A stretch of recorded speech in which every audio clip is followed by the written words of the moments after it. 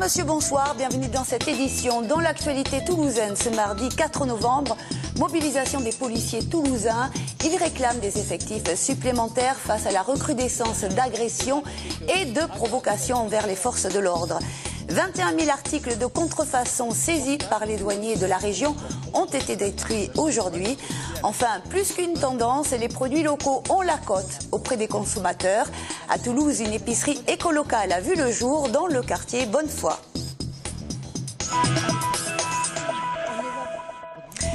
Mais tout d'abord, euh, dans le cadre des investigations sur les meurtres de Mohamed Merah, Olivier Corel, un homme né en Syrie qu'on appelle l'émir blanc d'Artiga, figure de l'islam radical dans la région Midi-Pyrénées, a été placé aujourd'hui en garde à vue. Selon nos confrères de la Dépêche du Midi, les hommes de la police judiciaire ont également interpellé un autre individu proche des frères Merah. Les deux hommes sont soupçonnés d'association de malfaiteurs en relation avec une entreprise terroriste. Et puis toujours au chapitre judiciaire, suite aux incidents et aux violences survenues samedi lors de la manifestation en hommage à Rémi Fraisse, le tribunal correctionnel de Toulouse a condamné aujourd'hui un jeune homme de 26 ans et un autre de 40 ans à 4 mois de prison mais sans maintien en détention.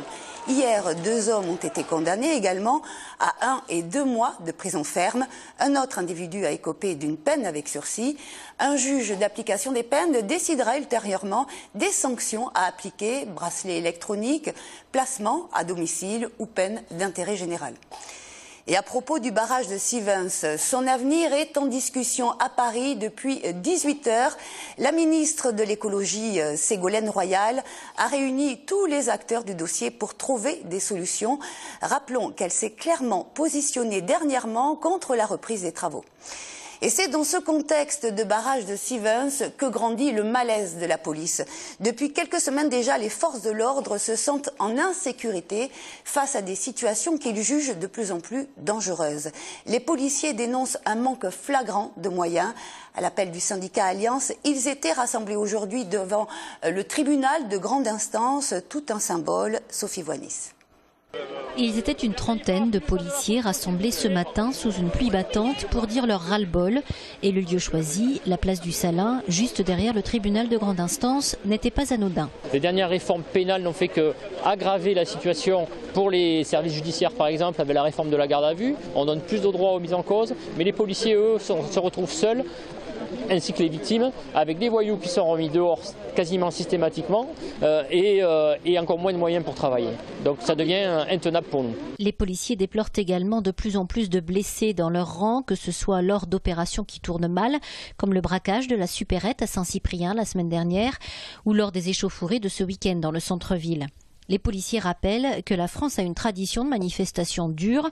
Pour cela, ils s'estiment plutôt bien formés, mais face à des individus de plus en plus lourdement armés et un manque de sanctions derrière, ils font un constat. Aujourd'hui, le message qui est envoyé aux voyous, c'est qu'on peut casser du policier, envoyer des pavés sans sanctionner. Aujourd'hui, le, métier est de plus en plus difficile, je vous l'expliquer. Déjà, la procédure pénale, c'est compliqué pour les services d'enquête. Nous manquons de personnel sur le terrain. Nous nous trouvons donc en insécurité. Nous faisons face à des provocations permanentes d'individus qui sont déterminés. On le voit bien sur les manifestations de Sivens, mais aussi dans les cités où des individus munis d'armes factices nous braquent régulièrement. À trois reprises, c'est arrivé avec un fusil à pompe factice, avec un, un fusil d'assaut factice. Et là, les collègues ne savent plus euh, quoi faire en gros. Parce que est-ce qu'on sort notre arme et on se retrouve en pseudo défense. Et là aussi, il faudra revoir qu'il y aura quelque chose à revoir. C'est bien pour ça que nous sommes devant le palais de justice. Aujourd'hui, les policiers demandent un effectif supplémentaire de 200 fonctionnaires à Toulouse, ce qui serait selon eux normal pour assurer la sécurité des Toulousains.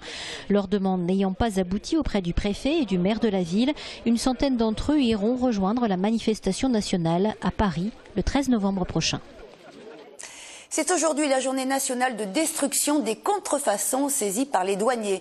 L'objectif du gouvernement est de montrer sa détermination dans la lutte contre ce fléau qui pèse sur les parts de marché des entreprises et fait courir des risques aux consommateurs.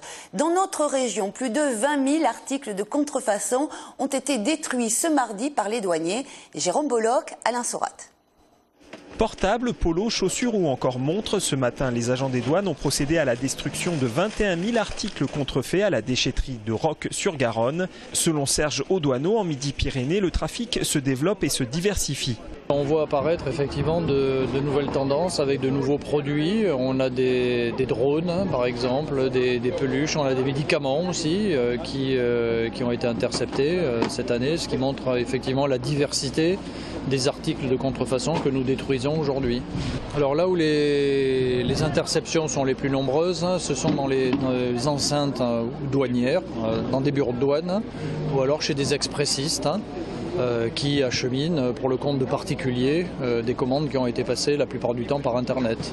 En août, les douanes ont saisi 35 000 sachets de faux élastiques RM à Blagnac. Il y a peu, c'est une quantité importante de peluches qui a été confisquée. On vient de faire une affaire de 1650 euh, peluches, donc c'est assez conséquent. Ce sont donc des jouets qui normalement doivent répondre à des normes. Euh, quand on est sur de la contrefaçon, il n'y a aucun respect des normes. C'est des produits qui sont potentiellement dangereux, inflammables pour des enfants, donc là il y a un danger réel hein, pour la santé. Au niveau douanier seul, euh, la pénalité encourue, que l'on soit détenteur de la marchandise, importateur, l'acheteur ou le vendeur, on encourt jusqu'à 3 ans d'emprisonnement. la confiscation des marchandises et, c'est surtout ce qu'on applique, une amende allant de une à deux fois la valeur des marchandises authentiques. Donc quand vous achetez une montre Rolex qui va être à l'authentique à 5 000 euros, vous encourez une amende de 10 000 euros pour une montre. En Midi-Pyrénées, on dénombre 340 douaniers, dont la moitié en Haute-Garonne. C'est à partir de vendredi prochain que le métro restera ouvert jusqu'à 3 heures du matin le week-end. De quoi réjouir les usagers, mais du côté des agents de TCO, on accepte beaucoup moins bien cette décision à l'origine d'un conflit social avec la direction. Conflit qui provoque des débrayages et l'arrêt du métro ce matin encore. Quelles sont les revendications des agents? Explication signée Marlène Canal. Ce matin, les rames du métro ont démarré à 6 heures au lieu de 5, ce qui porte à 10 le nombre de débrayages d'agents du métro depuis près d'une semaine. En premier lieu, ce sont des aspects sécuritaires qui les préoccupent, car un métro ouvert jusqu'à 3 heures du matin le week-end est synonyme de personnes alcoolisées et de possibles violences. Ils estiment les moyens mis en œuvre par la direction, soit deux trinômes d'agents de sûreté dans les rames avec une voiture en appui en surface, comme insuffisants. Ils réclament un partenariat avec la police. La direction de Tisséo, de son côté, entend les réserves qu'elle se dit prête à étudier, mais ne cache pas sa surprise quant à ces grèves intempestives dont il n'a pas été question lors de la dernière réunion vendredi. De même, les revendications portant sur l'organisation du travail, des primes pour travail de nuit et les demandes de récupération pour compenser la pénibilité du travail sont hors contexte pour la direction qui renvoie les intéressés vers les négociations annuelles. Débrayage ou pas, demain matin, les déplacements en métro et plus généralement les transports en commun seront à privilégier. Des perturbations du trafic routier sont prévues en raison d'une manifestation des agriculteurs. 300 tracteurs et 3000 personnes sont attendues. Trois cortèges partiront dès 9h30 de la cité administrative, de l'ONEMA dans le secteur de la gare Matabio et de l'agence à Dourgaronne à Ampalo. Ils convergeront vers les allées Jean Jaurès. Cette manifestation régionale organisée par la FRSEA, Fédération régionale des syndicats d'exploitants agricoles et des jeunes agriculteurs de Midi-Pyrénées, euh, veut dénoncer les contraintes absurdes et le harcèlement réglementaire qui, selon eux, mettent en péril l'avenir des exploitations. Consommer des produits locaux, c'est justement une façon de soutenir les petites exploitations en France. Plus qu'une tendance en Midi-Pyrénées, c'est devenu une habitude pour la majorité des consommateurs. Afin de répondre à la demande des locavores, ceux qui privilégient les produits locaux et faire de nouveaux adeptes, une nouvelle épicerie éco-locale a vu le jour dans le quartier Bonnefoy. Petite visite. Des pommes de terre de Saint-Jory, du sel de Gruissant, des yaourts de Caussade. Dans cette épicerie éco-locale, 80% des produits proviennent d'une quarantaine de producteurs situés dans un rayon de 100 km autour de Toulouse. Sur chaque étiquette, la distance entre le lieu de provenance du produit et Toulouse est indiquée. Le circuit court est privilégié, un concept qui répond à une réelle demande. Les agriculteurs qui sont pas loin, en principe, ils utilisent souvent moins de pesticides. C'est ce que je recherche surtout. Si c'est pas bio, c'est quand même moins traité. C'est frais, ça n'a pas, ça n'implique pas sur l'environnement ou le moins possible. C'est aussi dans l'air du temps, hein, faut pas, mais effectivement on est un peu plus sensibilisé. Après, il faut que je m'y retrouve dans le goût, dans, dans la qualité du produit. À l'origine du concept, Isabelle Cordier, ancienne directrice des achats dans la grande distribution, reconvertie aujourd'hui dans la vente en circuit court. La méthode reste relativement la même, mais ses rapports avec les producteurs locaux sont plus en accord avec sa philosophie de vie. On ne va pas négocier avec les producteurs comme j'ai pu le faire quand j'étais en grande distribution, clairement. Il n'y a pas de mise en concurrence en disant euh, Ah, mais ton collègue me les propose à tel prix, alors il faut que tu fasses mieux, etc. Nous, ce qui va nous intéresser, c'est la qualité du produit, c'est la façon dont travaille le producteur. Et si le producteur me dit Ben voilà, moi je vous le vends euh, tant, ben on va lui dire OK. Un point de distribution pour les producteurs locaux, c'est aussi source d'emploi. Si demain, moi j'ouvre d'autres boutiques comme ça sur Toulouse, eh ben, je suis sûre qu'au bout d'un moment, ils vont être amenés à embaucher, euh, à embaucher euh, une demi-personne ou une personne supplémentaire. Si ce n'est embaucher, maintenir aussi des emplois.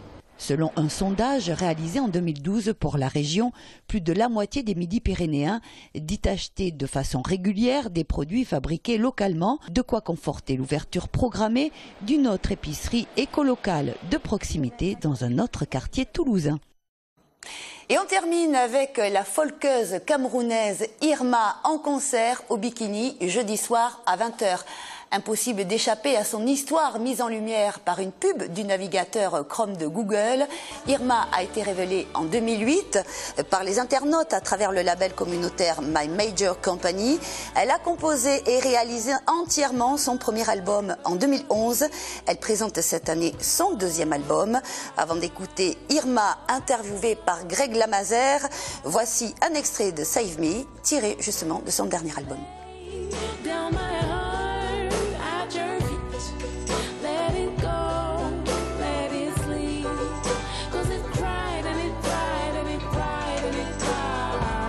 Urbaine et africaine. C'est exactement le mélange que, je cherchais à avoir pour cette chanson. Euh, et, voilà, la, rythmique qu'on entend est inspirée d'une rythmique euh, de l'Ouest camerounais qui s'appelle le Benskin. Voilà, moi je suis originaire de, cette, de ce petit coin du Cameroun et, euh, voilà, c'est important pour moi de, faire un petit clin d'œil à cette, à cette musique qui a bercé un peu mon enfance. À New York, ça doit marcher du feu. Cette, euh, rythmique-là, bah, c'est vrai que les New-Yorkais et les Américains en général sont très portés sur la rythmique. Et c'est vrai que cette école-là m'a a effectivement beaucoup inspiré la conception du deuxième album. On est, on est six sur scène, donc cinq musiciens et moi. Bon, il reste bien sûr de ces moments guitare-voix que j'aime euh, particulièrement. Et puis euh, sinon, un, spectacle où il y a de tout, de la danse. Des, reprises? Des reprises, toujours, évidemment. Et mais des reprises assez surprenantes, dont enfin, je, je n'en dirai pas plus. Il faudra venir. Voilà, Irma sera donc en concert jeudi soir à 20h au Bikini. C'est la fin de cette édition. Merci de l'avoir suivi. Très bonne soirée à tous.